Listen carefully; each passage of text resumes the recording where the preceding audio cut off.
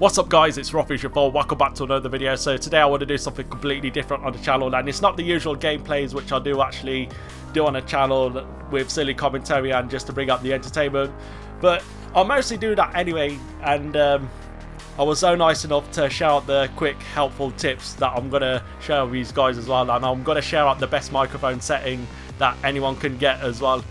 Yeah, so the microphone I'm actually using is a Snowball Ice uh, white microphone and it's pretty much uh, cheap to buy as well. Not too underpriced or not too overpriced as well, but it's just reasonable.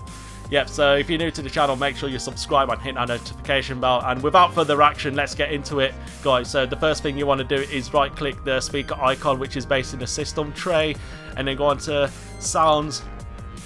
Wait for the little window to pop up, and then you'll see a recording tab. So click that and then underneath there this is the microphone that you will be using or I'm using as well. So right click it and then click on its properties and then uh, go on to the advanced tab.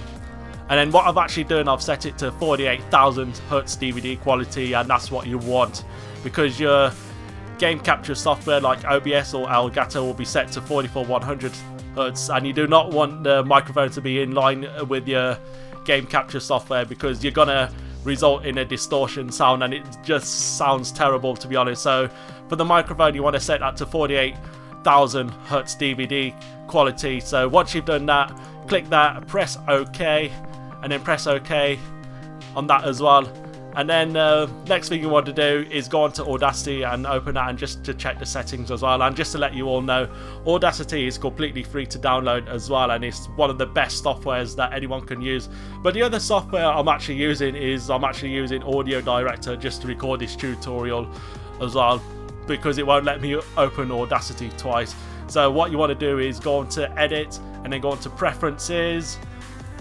And once that's open, you'll see a new default sample rate which is set to 48,000 Hertz which is what you want as well. So the real time conversion you want to have it on is high quality so select that and then select that as well.